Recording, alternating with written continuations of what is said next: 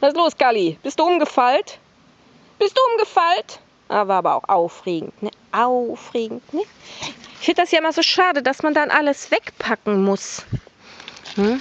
Aber wenn ich das offen stehen lasse, dann sind die unter Dauerstress, ne? Oh. Aber ich hoffe, du bist mir nicht böse, dass ich den Ball dann mit hier diesen mit zu Gabi nehme, weil den würde der, Kali, äh, der Schnauzi sofort schreddern. Obwohl der schön massiv ist. Mich reizt das schon ein bisschen, das am Schnauzi auszuprobieren, weil der sehr stark ist. Ja, richtig feste, ne? Mal schauen. Da kannst du mich mal mit deinem Trichter angucken. Ich habe mich schon richtig an den Trichter gewöhnt. Ich weiß schon gar nicht mehr, wie der ohne aussieht. Mal kurz zum Simba-Stiefel. Na, bist du glücklich damit? Ja?